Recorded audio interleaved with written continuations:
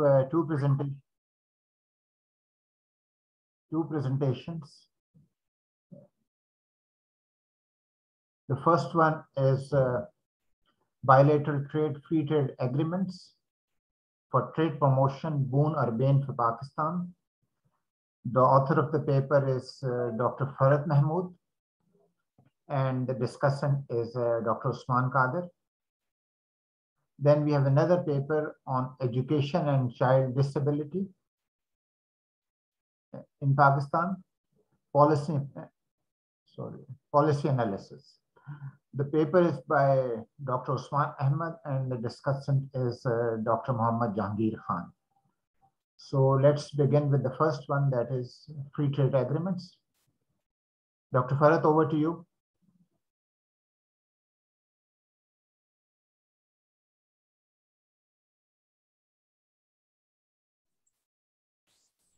Doctor Farhad साहब cyber disconnect हुई भी अभी। किया लेट्स एक मिनट देख लेते हैं फिर। जी जी उन्होंने ज्वाइन कर लिया। अब आप काइंडली अपनी प्रेजेंटेशन शेयर कर दीजिएगा। जी मंसूर आपको विजिबल है स्लाइड्स जी जी विजिबल है madam ji ji doctor Farhad over to you you can start Uh, thank you so much, Dr. Grease. Please go ahead. So today uh, I am going to present the findings of a research study, which is all about trade enhancing effects of free trade agreements. So basically my main idea for this study was to check whether FTAs are creating any sort of benefit to Pakistan in terms of trade promotion or not or otherwise uh, uh, we could uh, say that Pakistan is blindly signing FTAs by following the footsteps of its neighboring countries.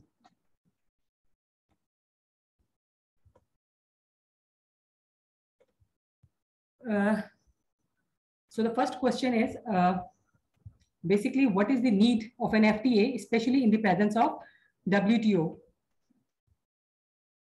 Uh, for this, we need to see at both aspects of free trade agreements. free trade agreements could generate uh, positive or negative, uh, uh, have could, could have positive or negative aspects. So uh, for trade policy makers, they have to analyze uh, or uh, do the cost benefit analysis between its positive and negative aspects. For example, FTAs, if we talk about from the positive aspect, FTAs could generate or create incentives for firms to indulge more in international trade because FTAs offer tax incentives for trading firms, which consequently enhance firms' productivity by inducing tougher competition and by providing cheaper imported inputs. And this brings improvement in quality of products, larger economy of scale, and enhancing variety of products, and thus stimulus the invest investment climate of the country. And at the same time, FTAs could generate negative impacts. For example, the rule of origin, hub and spoke model, varying country size, lack of institutional and good governance, insufficient allocation of resources to the needy sectors, and limited movement of factors of production under the regime of free trade. So uh, we can say that all in all, signing an FTA and the induced uh, trade opportunity does not always go hand in hand. Therefore, when an FTA become additional trade barriers and discouraging firms to materialize its opportunities, it is imperative to check uh, both aspects of FTAs before signing or before entering uh, into the negotiation of uh, FTAs. So among many other uh, reasons, the top three reasons why do uh, why FTA spread around the globe are number one is halting speed of WTO negotiations. Number two is political factors, and number three to resist the domination of big powers in world trade. Countries are uh, interested to sign bilateral FTAs, uh, especially to go into deeper uh, negotiations or to enhance uh, trade volumes without uh, delaying to resolve the uh, issues relating to trade policy.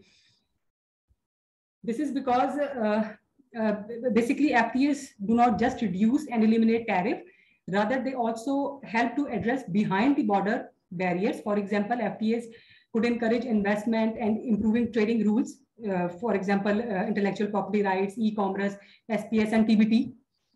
And this would be much easier uh, to solve or to formulate uh, new, new rules if the trade agreement is among uh, two or three nations instead of many other uh, nations. So uh, what is the reason uh, to study FTA for Pakistan or for Asian region? So from this graph, you can see that FTAs have a significant impact on Asia's trade policy. If you can compare uh, just over a period of 12 years, just in South Asia, the signed FTAs have increased from 0 till 45. Likewise, in other Asian region, you can see that uh, the trend is increasing. So the spread of FTAs is economically important for Asia since 2000, mainly due to Asia's advanced production network. And so via FTAs, Asian countries can get deeper regional integration in order to enhance their trade volumes and to uh, uh, formulate trade policies in order to re uh, revolve other trade related issues like uh, how to uh, increase digital uh, trade or how to resolve SPS and TBT issues more easily. Okay, globally, over a span of 20 years, the number of FTAs has increased from 51 to 271 and particular to Pakistan, uh, the current status of Pakistan FTAs is uh, total number is 32, out of which only nine are signed and in effect, the rest are in pipeline. So because of this increasing trend, I was interested to investigate whether they are creating any sort of trade promotion or not. And for my study, I have analyzed only uh, six signed and in effect FTAs. Uh, so the problem statement was that in contrast to WTO, FTA-led uh, liberalization is discriminatory and conditional. Discriminatory means that uh, FTA offer preferential, preferential tariffs only to FTA members and conditional in a sense that, for example, rules of origin condition are imposed on the FTA members in order to prove the origin of the imported good in order to determine its eligibility for tariff concession or eliminations. So the impacts of an FTA on trade is therefore inconclusive, depending on these two opposing uh, measures. I mean that the first uh, measure, which is discriminatory, indicates that trade could be stimulated from preferential tariffs offered and trade could be reduced due to the complexity of rule of origins imposed. I mean कि F T sign करने की वजह से tariff की जो reduction मिल रही है उससे ट्रेड बढ़ भी सकती है लेकिन एट द सेम टाइम जब उसके ऊपर रूल ऑफ़ ओरिजिन की कंडीशंस लगा दी जाती हैं तो maybe many of the exporters are not able to comply with those rules and are not able to avail that tariff reduction facility so because of that volume could be reduced instead of increasing due to the uh, signing of FTAs. Moreover, uh, there is a long list of sensitivity products which is included in uh, FTAs. The, the sensitivity sensitive products means that they are exempted from tariff concessions. So while FTA prolifer uh, proliferation continues, the effect of an FTA on trade remains an open empirical question to be tested, whether they create a positive or negative impact. So the significance of this study, uh, this study examines only in effect FTAs of Pakistan. And Pakistan is a good case to be studied because of uh, two reasons. Number one, Pakistan is the first runner-up in South Asia after India in a number of uh, signing FTAs. So since the trend of signing FTAs is increasing in Pakistan, therefore, there is a need to investigate its uh, impact or to do the analysis. And secondly, like other developing countries, trade, especially export sector is crucial. Uh, and uh, for the stimulation of long-term economic growth and uh, Pakistan signs and negotiates with other South Asian partners with the expectation that FTAs would open up more uh, market opportunities and uh, after that Pakistan would be able to materialize its geographic and comparative advantage. So, but uh, nonetheless, uh, so far there is a depth of analysis on trade stimulating effects of FTAs for the economy of Pakistan. And the limitation uh, for this study is that uh, since this study focuses only on Pakistan, therefore the results of this uh, research study would be applicable, would not be applicable to other countries. Uh, for other countries, uh, the results could be different depending upon the nature of their FTAs, time duration, and independent variables uh, included. However, this study could raise research attention on how an FTA effect is measured. Dr. Farah, may I request that since we have two papers, so please focus on the main items. Okay, okay. ठीक है limitation समझ आ गई हैं आगे चल So there were two main uh, research objectives for this study. First uh, was to calculate tariff gap, which is basically the difference between MFN and preferential tariffs. And second objective was to examine the trade stimulation or trade distortion impacts of in effect FTAs. And this I did for total exports and uh, for the disaggregated exports from one till eight digit, and also for agriculture and manufacturing sectors. Uh, so this table basically shows that uh, I wanted to show uh, the FTA partners of Pakistan among, uh, uh, since I did the analysis of SAFTA, so among South Asia, I have analyzed that Afghanistan and Bangladesh are, increasing, are increasingly becoming important for Pakistan's export destination. So therefore, there might be a need to sign an FTA with Afghanistan and Bangladesh if Pakistan is getting a, a positive impact of those FTAs. And then uh, among Commonwealth, UK is the most important export destination Pakistan. Among ASEAN, Malaysia and Pakistan has already signed an FTA with Malaysia. Among Northeast Asian countries, China and Pakistan has already signed FTA with China. And uh, among uh, uh, the developed countries, USA is the most important export destination for Pakistan. And the same analysis I did for the import side. So tariff gap is basically nothing. It's, it's just the difference between MFN tariff rate and the uh, applicable FTA tariff rate. And then we took the ratio of that and used as an independent variable in order to check the impact of different FTAs. So I did a tariff gap calculation uh, for Pakistan under selected FTAs from the export perspective and from the imports perspective. From the exports perspective, I have seen that uh, tariff gap for SAFTA is highest in both agriculture and manufacturing sectors.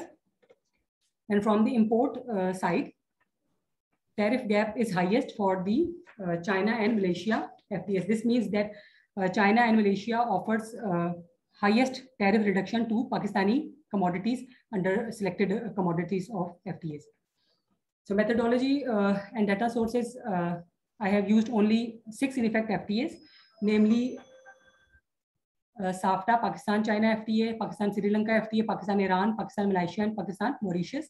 And data duration was from 2000 till 2010.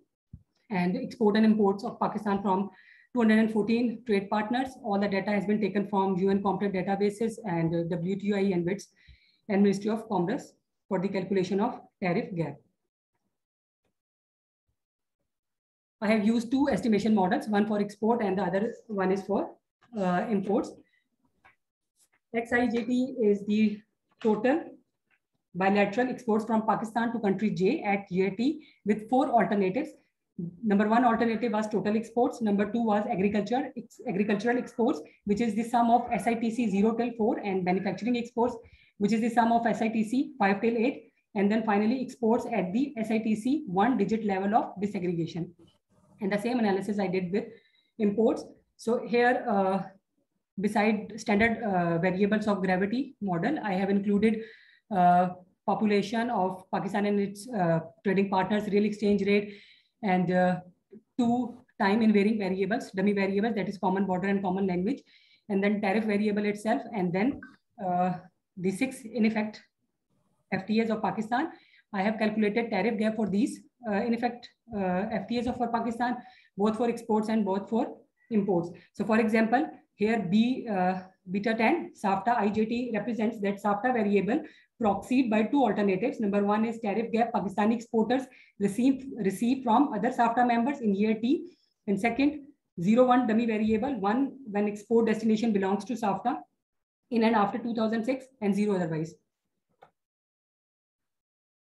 So after uh, the complete analysis, the major uh, results was that, that from the exports analysis of Pakistan, Pakistan-China Free Trade Agreement has the strongest stimulating impact on Pakistan's exports, while other FTAs have, although positive, except SAFTA, uh, but their uh, magnitude is almost negligible. And when we compare agricultural and manufacturing exports, we can see that uh, the impact of tariff reduction on agricultural exports is much higher than uh, manufacturing. It might be due to the reason that uh, the compilation of rule of origin is quite easy because the nature of the agricultural products uh, or exports is uh, uh, wholly obtained. when we compare the exports at the SITC one digit level of disaggregation, I found mixed results across products and across FTAs. And the same analysis I applied for the import side of Pakistan, where uh, from the total imports, the most important FTAs for Pakistan was, for, uh, was of Malaysia and China. And for agriculture, the most important one was uh, Iran. And for manufacturing, again, China and uh, Malaysia was the important uh, FTAs for Pakistan in order to boost uh, its trade. And for SITC one digit level disaggregation estimations, I have found that SITC 4, 5, and 6 contributing more towards uh, uh, the impact of FTAs. So uh, when I compared, when comparing all FTAs, it was clear that tariff gap highest for China and Pakistan, Malaysia FTA. So uh, this basically indicates that uh, my estimation results are in line with the observed changes of trade pattern of uh, trade pattern of Pakistan with its trading partners. If we look uh, from the exports perspective, or even if I look from the import perspective. So finally, uh, the study has examined the effect of FTAs on exports and imports using Pakistan as a case study during the period from 2000 till 2010, the gravity model is applied in examining the effects of FTAs. In this study, FTA's effect is measured by both the difference between MFN and preferential tariff rates, uh, which is referred as tariff gap, as well as the zero one dummy variable. The comparison of both the measures of an FTA suggests that the estimation based on the tariff gap is consistent with the observed changes in the trade pattern of Pakistan. The observed pattern of uh, uh, changes in trade pattern of Pakistan are clearly visible from these two graphs. So uh, from the uh, policy perspective, I can suggest three policies. Number one is the way how FTA is measured either by dummy variable or tariff gap has affected the magnitude of the estimates. And the magnitude is quite bigger when I uh, used tariff gap as a variable. And the second uh, rec uh, policy recommendation was that the importance of rule of origin has increased with the increase of FTAs around the world. And lastly, uh, trade, uh, trade among South Asian economies has long suffered from two-sided enmity between Pakistan and India. And because of this uh, factor, uh, I was unable to see a positive impact of SAFTA agreement, even though I have observed that uh, the tariff gap was much higher in the SAFTA agreement. So that's all from my side. Thank you, Dr. Farhat.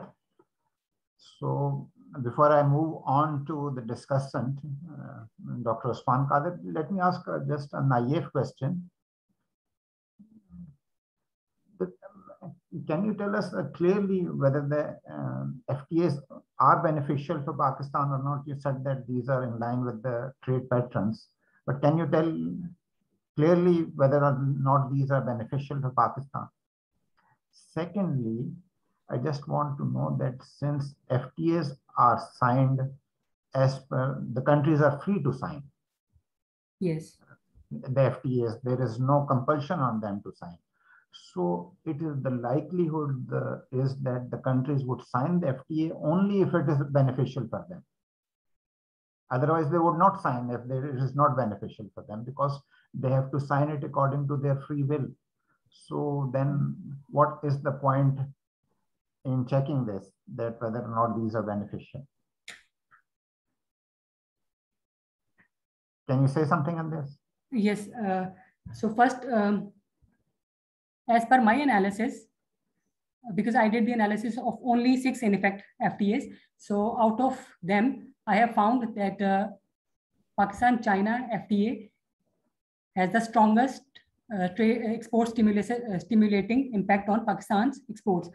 So for that, we have to see that uh, how much tariff has been reduced among different FTAs and uh, what is the number of uh, sensitivity list uh, of products because if uh, for example in SAFTA India put all almost all those products under sensitivity list in which Pakistan has comparative advantage then in that case it would be difficult to take advantage of uh, these FTAs so I mean you have to do a deep analysis of the products which are included in the FTAs and how much percentage of the tariff uh, is available on those products.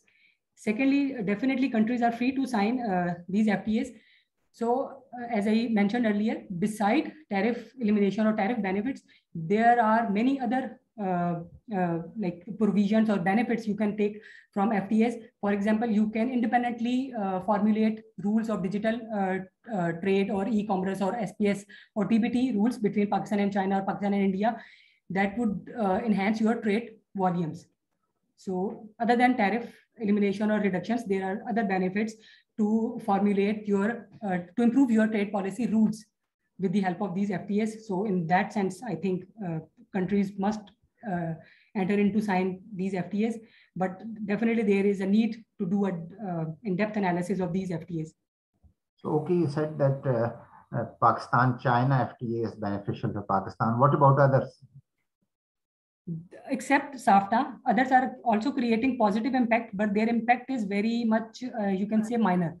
Or this this is might be because of the reason that China offered Pakistan tariff reduction on more than like uh, 12,000 products, whereas Sri Lanka offered tariff reduction only on 309 products. So, I mean, it depends how many products are included in those FTAs and how much tariff gap they are offering and what is the, uh, what are the items under sensitivity list. So many things uh, when you analyze, then you can make these FTAs beneficial for yourself. Okay, thank you. So now I'll request the discussion, Dr. Usman Qadir to give, offer his comments. Dr. Usman Qadir, over to you. Thank you. Assalamualaikum, everyone. Uh, thank you for the presentation. Uh, my comments are mainly based Dr. Usman, the... you may like to put on your video. Okay, Ji, one second. So my comments are more on your uh, on the paper that was shared with me uh, for comments, and in that uh, my first uh, question would have been, what is the purpose of your research? After reading the paper, it wasn't uh, too clear what it was till I got to the end. So, uh, I mean, you've answered the question in the presentation, so it doesn't really apply. So we'll skip to the next. Um, you said that you want to see the impact of FTAs on Pakistan's economy. Yes. So uh, it would be, I think, helpful if you can shed some light on the trade flows between Pakistan and these uh, FTA partners, because uh, then you can relate it and uh, link your uh, answers, uh, your analysis to the trade flows that have actually happened. So you can know the situation on the ground, I think. Then I'm wondering about this tariff gap measure. It's very interesting. Um, uh, is there some uh, literature we can uh, cite or look up for this? where does it come from? And how come you've chosen this rather than, for example, let's say a tariff simulation? Okay. okay. And the um, same goes for the gravity equations. It would be helpful to have some sources for your uh, equations and why you've chosen those specific uh, specifications. Okay. Um, and uh, coming back to your uh, uh, empirical uh, analysis, non-tariff barriers, I didn't see those in the specifications. So is there a reason they're not there or, um, I mean, could you shed some light on that? Because I think they're very important now, especially given that um, tariffs are going down. Okay, and uh, as I said before, if you could, uh, you know, link your uh, analysis and your results to the situation on the ground, actually, uh, that would help put things in perspective.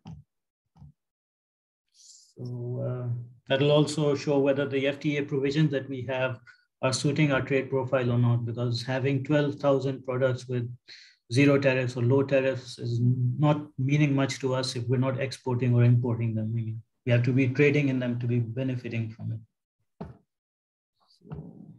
And um, finally, last one is um, services are not included in your analysis as far as I can see. Uh, do you think uh, you could shed some light on that? On services exports because they're growing and they're a key component now of uh, government policy and the economy also. Thank you. Okay. Uh, so uh, first of all, uh, the document, which uh, I guess shared with you was a knowledge brief, not in the form of working paper, because my idea was uh, to explain the results of oh, yes that makes sense. Okay. Yes. So that's why that empirical mm-hmm. part and the literature support was missing. But uh, mm-hmm. i have links. If you are interested i can show you all that stuff. Well for the tariff gap yes please. That would be great. Thank you.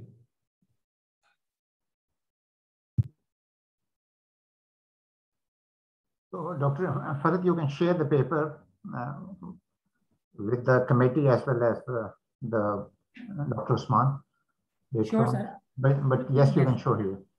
Okay. So uh, for tariff gap, for example, uh, China offer tariff reductions to Pakistan in terms of five categories, category one, category two, category four, and five.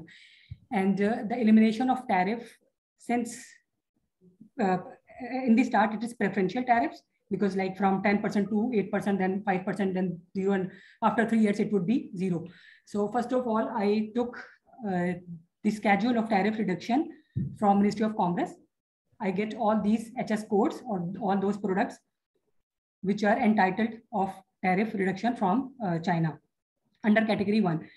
Okay, after uh, that, I took uh, the data of WTO uh, or MFN tariff rates for these products. I can show you.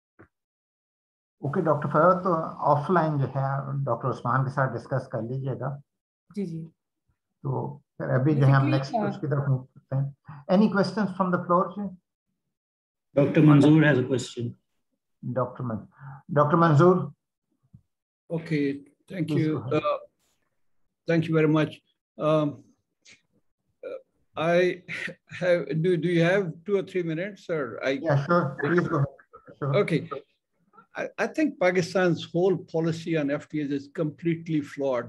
Uh, I mean, I've, I've been Pakistan's ambassador to WTO, and I've been in negotiations on this SAFTA and Sri Lanka and all these bilateral FTAs and everything. So I can speak with some experience. Now, Pakistan started negotiating, oh, I, I think Farad said uh, about 32 agreements. And, you know, they've been just going on mindlessly. Let me give you an example. For example, we started negotiating with uh, Singapore in 2005. Singapore has zero tariffs, no tariffs. So, you know, we should have uh, our objectives clear that if we are, uh, why, why are we going to Singapore? Is it to get some investments? And would we, we be able to reciprocate?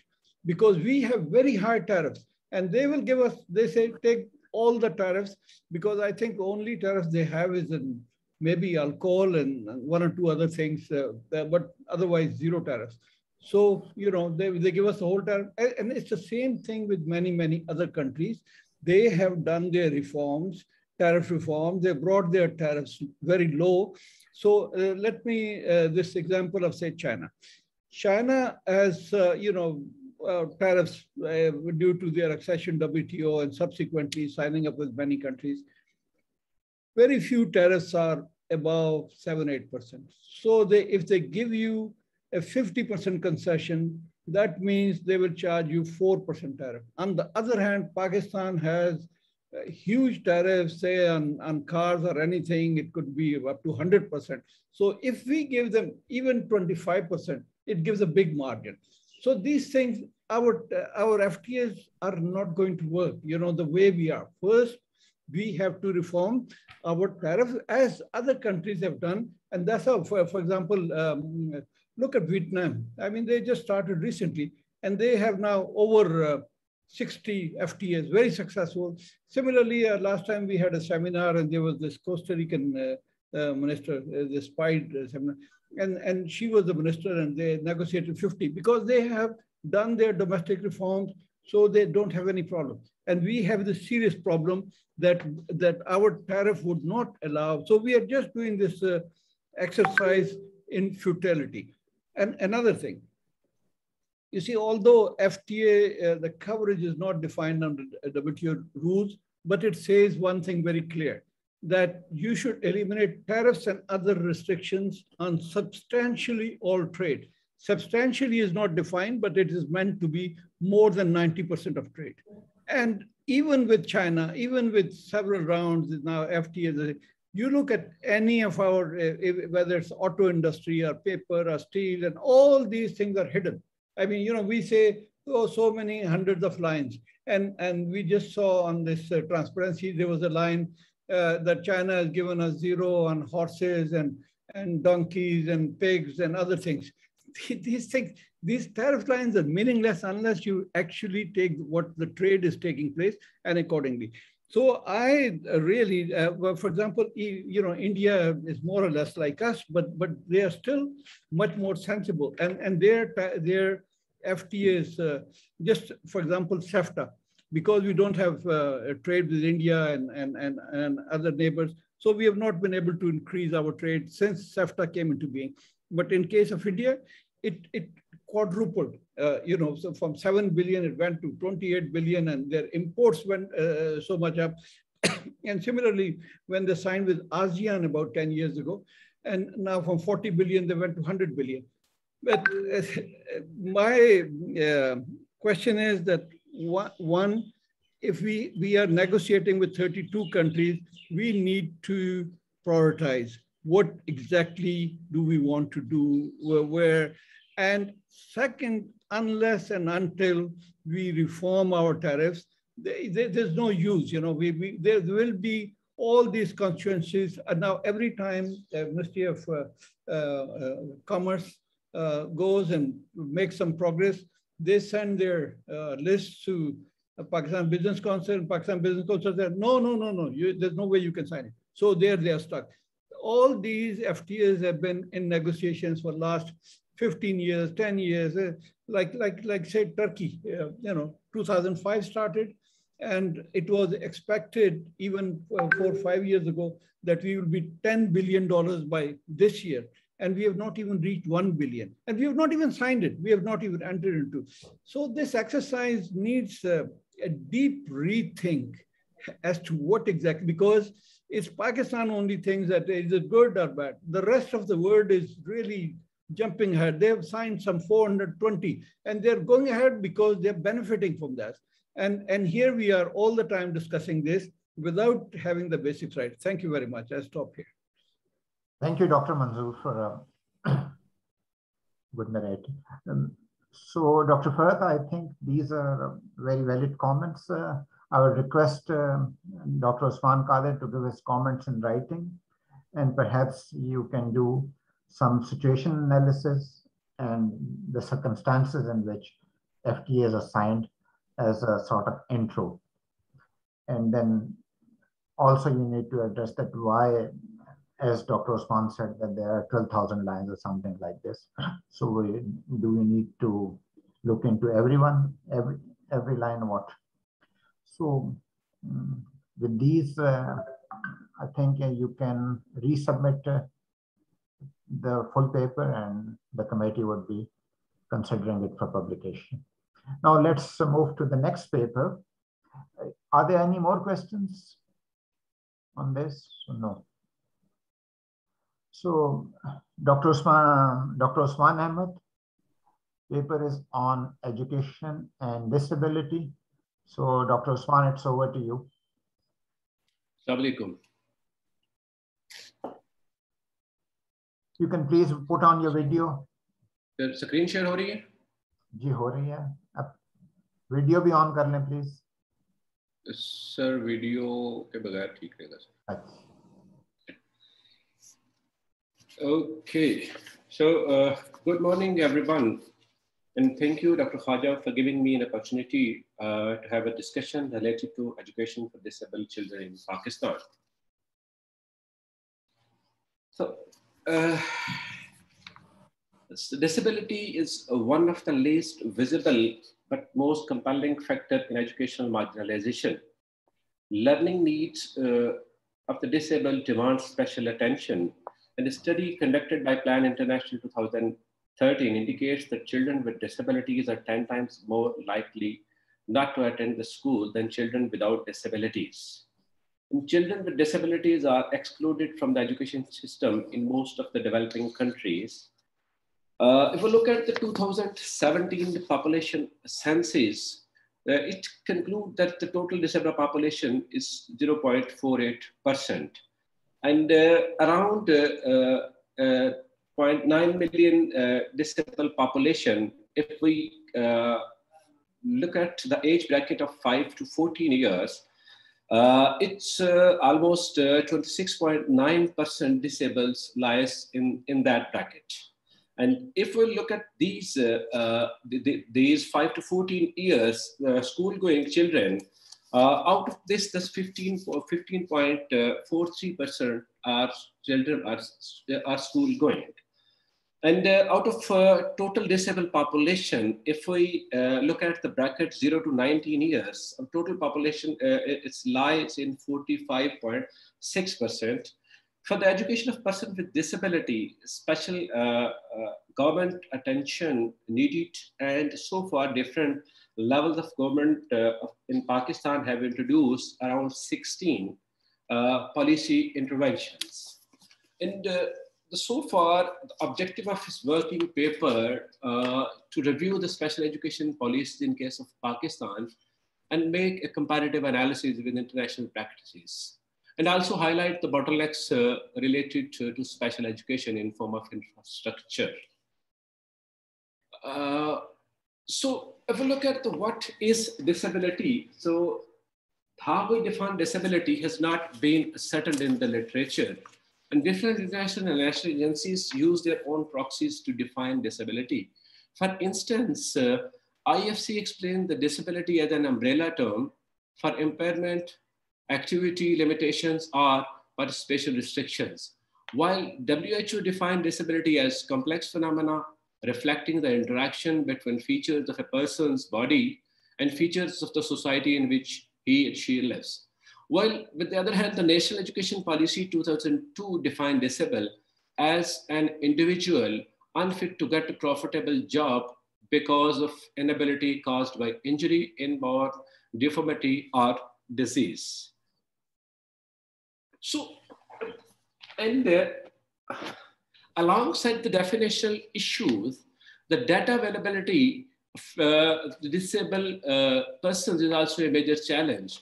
For example, Pakistan population census 1998 shows 2.4% disabled, while 2017 census indicates only 0.4% population is disabled, whereas World Bank uh, report on disability 2011 places the disability ratio in Pakistan at 13.4%.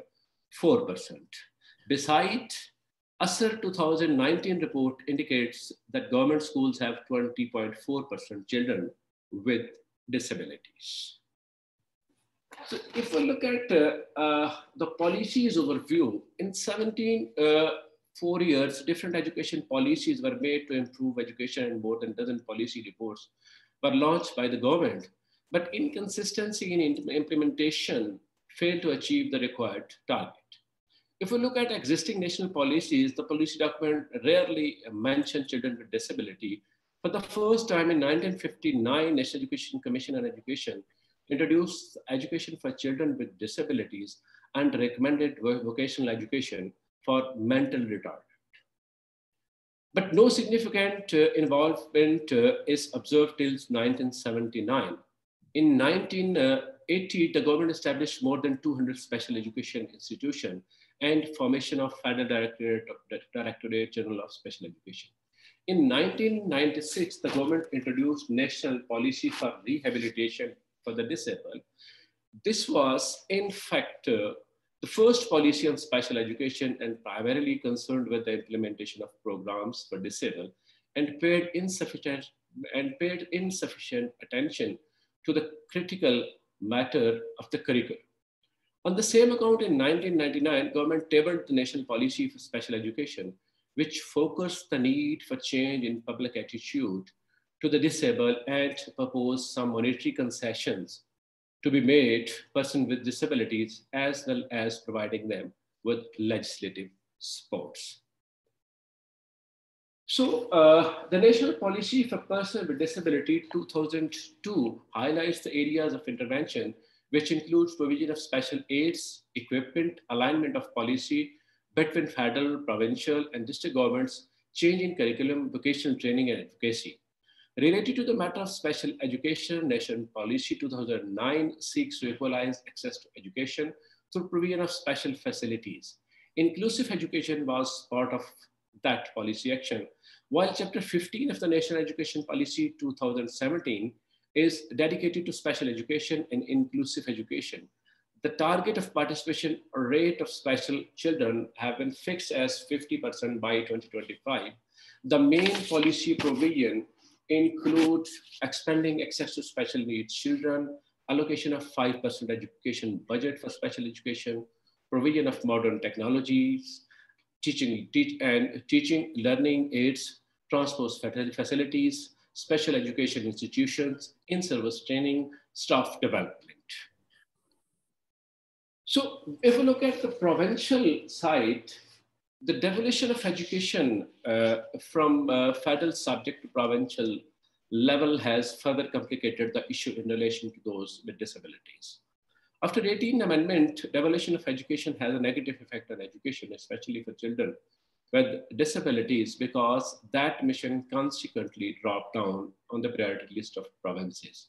After the 18th Amendment, all provinces are required to amend and adopt the relevant laws.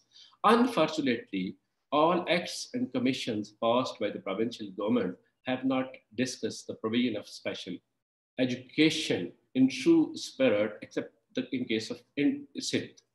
Sindh Right of Children and Free Compulsory Education Act 2013 aims to ensure all children between the age 5 to 16 years are entitled free and compulsory education. So uh, if we look at uh, the, the, the observation, the big question is that have these policies and acts achieved their objective or not? Around 85%, uh, according to the 2017 census, around 85% children with disability being out of school when they are supposed to attend the school puts a big question mark on effectiveness of these policy. For the effectiveness, uh, formulation and implementation of special education policy, a comprehensive understanding and identification of the children with disability is crucial. Uh, although uh, the national census 2017 did not acknowledge the importance uh, of this matter, uh, Uh, but uh, after uh, uh the uh, intervention inter intervene of Supreme Court, they adopted a binary approach. so I'm discussing initially the three questions, three codes were allotted, one for male, second for female, and third, third, three, the number third code for transgender. On the order of Supreme Court, there are three additional codes were added to uh, added four for disabled men, five for disabled women, and six for disabled transgender. The incorporation of a complicated question in mid-cycle of census collection has raised concern around the reliability of the data. It can be seen that before Supreme Court intervention, the state was not inter interested to collect the data of disabled persons. Bureau of Statistics has simply fulfilled with the Supreme Court without making adequate measures. For the identification of persons with disabilities, traditional binary approach is not appropriate. This approach does not account the individuals who suffered from Undiagnosed disabilities are those who do not wish to identify as disabled due to family pressure and stigma. There is a need to move forward from binary to multidimensional approach. Although after the 18th Amendment, education is a provincial subject, it is responsibility of a central government to develop a consensus on policy formulation among provinces. Policies that support education of disabled children should match the available resources in order to achieve the results. So if we look at around the world, the Australia is a classical example where they have uh, introduced Disability Discrimination Act 1992 and Disability Standards for Education 2005 that make it mandatory for all educational providers to provide quality education for all children. And as a result of their policy intervention, almost all 89% children with disability go to primary or secondary school. And the situation of special education is much better in developed countries as compared to developing countries. Like India and Sri Lanka are also struggling to improve its education system and provide quality education for disabled children. So there is an infrastructure issue. If you look at uh, uh, the way forward, there's a need of uh, teacher training, community involvement, comprehensive data availability. Uh, state must respond to education needs of all children under one roof, early identification and intervention through health department, appropriate education and training, through education and special, edu uh, through special education, financial support and social protection through finance department, the social welfare department, and legal protection and access to justice. Thanks. Thank you, Dr. Usman. So the discussant is uh, Dr. Jehangir. I think uh, Dr. Jehangir has a meeting at the Planning Commission. An unscheduled meeting came up. But uh, Dr. Jehangir has uh, sent his comments to the Working Paper Committee. I will request uh, uh Dr. Saman Nazir to please read out the comments. But before that, uh, can you tell us, uh, Dr. Usman, that um, basically what have, I have inferred that basically you have done a situation analysis of the state of disability vis-a-vis -vis education beyond this uh, have you gone uh, have you gone beyond this in the paper other than discussing this Sorry? situation Sorry? Yes, yes, sir. Basically, this is uh, uh, just thought that's some uh, policy overview or uh, the situation analysis that it is a most neglected area. Although education is also a neglected area, but disabled population or disabled children are uh, neglected area. So you can say it's also a situation analysis or a policy analysis. Okay. Uh, so let's move to Dr. Saman Nazir. Dr. Saman. Um, thank you, Dr. Idrees. Um, thank you, Dr. Usman, for your interesting presentation. So here are the comments um, that is given by the Dr. Jehangir um, uh, Khan. Um, first is um, uh, the the paper needs abstract. Um, and he further goes like this, that why are statistics of the enrollment of not disabled children given?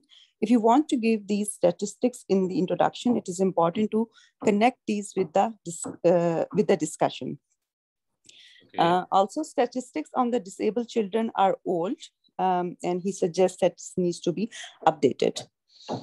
Um, the author stated that there is a definition issue in the disability in the literature. Different definitions have been given, but the differences have not been highlighted or the issues with, the, with these definitions have not been discussed. Please discuss the context that why definitional issues are important in this case. Um, he says that box one and table one and two are not connected to the, neck, uh, to the text and the context. Um, it's uh, this, this uh, section needs improvement. Uh, the introduction is rather long and incons inconsistent, needs academic discussion that links with the theoretical discourse for the identification of the problem and contribution to the literature. Okay. Um, there is uh, no literature review and conceptual framework at uh, standalone entities needs both for the better comprehension organization of the paper. Dr. Jehangir suggests that the author starts with the definitional issues in disability with result in the differences in statistics from the different surveys. Um, he further says that the policy uh, overview section is also vague. It's not clear that why different policies were in, enacted, how these policies are linked with the definitional issues. Uh, his last comment uh, uh, is on the author says that there were policy implementation issue. What were these issues are simply the policies were not implemented in the first place? Uh, need further elaboration. And that's it. That's all from Dr. Jehangir's comments. Thank you, Dr. Saman. Uh, Dr. Usman, would you like to respond? No, sir, I will incorporate the comments. Okay. Any questions from the floor?